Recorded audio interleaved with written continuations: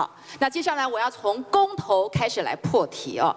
我想公投一直是民进党非常力推的一个价值。然后昨天呢，也优先通过的一个法案，就是说未来要来修这个两岸人民关系条例，特别是有关于和平协议的部分。来，那个苏院长，你看过国民党所提过的和平协议吗？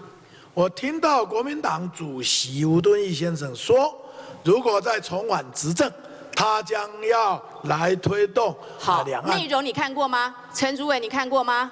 呃，跟委员报告，因为好了，我知道你你已经回答很多人问题，先看一下国民党历届主席所提的这些和平协议的一个方向，最大的公约数就是在中华民国宪法的架构之下面，国会监督、民意支持，然后敲门啊，这根本需要公投呃啊，这个有卖台吗？不是这个有什么好怕跟委的？员报告哈，因为两岸人民关系条例是有关于政治议题的谈判，但是它的监督机制很 weak，所以嘛，既然你就应该好，陈主委，你就应该是好好的去修监督条例。吴主席他提出要根据两岸人民关系条例去谈两岸和平协议，和平协议就是内容在这里嘛，你看一下内容嘛，你刚刚看一下内容嘛，那个内容。内容未来怎么样我不知道，我只是建立制度，寻求社会高度的共识而已啊。我告诉你呐，不要到这个选举到的时候呢，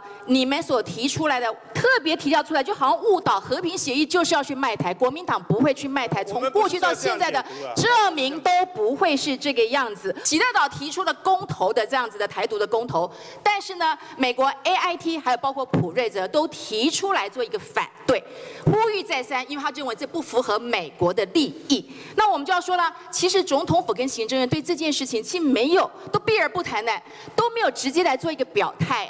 所以呢，既然台独公投是民进党的一个神主牌，那我想先请问一下院长，对于喜乐岛所提出来未来提出来的公投，院长你要不要联署？你认为认为不认为它是一个很适合的公投的一个处理？你认不认为普瑞泽认为这是一个相当危险的事？你赞不赞同普瑞泽的说法？委员，二零一二年马英九选总统的时候，也是说两岸协议要公投，这也是他当年好啊，可以啊我们我没有这是意见我只马英九是让你看清楚选总统的时候这好，那。那台独公投呢？喜乐岛的公投，院长你的态度是如何？我认为现在台湾就是一个国家，不是主张公投，而是怎么样守护主权。所以你认为喜乐岛部分你会不会联署？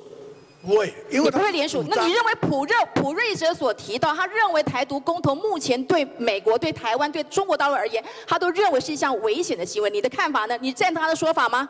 台湾跟海峡两岸确实是非常敏感。是。那美国朋友一直非常关心我们。你赞不赞同美国的说法？危不我危险？认为，我认为现在我的工作就是怎么样福国利民，守护主权。